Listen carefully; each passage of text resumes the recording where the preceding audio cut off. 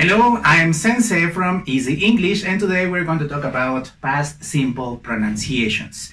Tenemos estos verbos que a simple vista no tienen algo en común. Sin embargo, cuando se trata de el pasado, de su pasado, su conjugación en pasado, resulta que sí tienen algo en común. Y esto es que tienen un sonido vocálico idéntico. Vamos a ver, por ejemplo, el primero, bring, bring. El pasado de bring es brought brought, brought. Bring, brought. Bring, brought.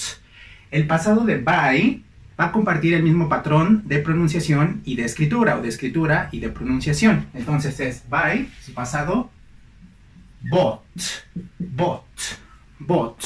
Entonces ya tenemos dos. Bring, brought. Buy, bought. Siguiente, fight. Mismo caso, mismo patrón de escritura, mismo patrón de pronunciación. Fought, fight, fought, fight, fought. Bring, brought, buy, bought, fight, fought. Siguiente, think, think. ¿Cuál creen que sería su pasado?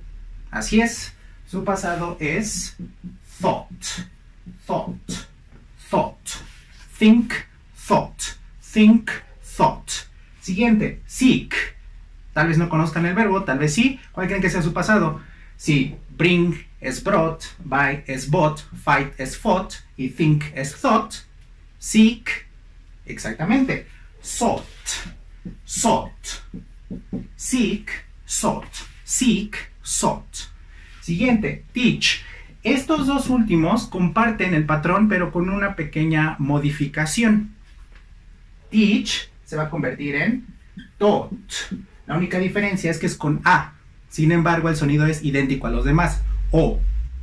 Tot. Teach, tot. Teach, tot. Teach, tot. Y el último, catch. Mismo caso. La única diferencia va a ser la letra A en lugar de la O, pero el sonido es exactamente el mismo. Caught. Catch, caught.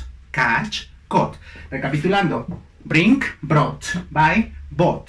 Fight, fought. Think, thought seek, sought, teach, taught, catch, caught. El pasado participio es exactamente el mismo. Si les gustó el video, compártanlo, denle like. Si no les gustó, compártanlo con sus enemigos. Y nos vemos en el siguiente episodio.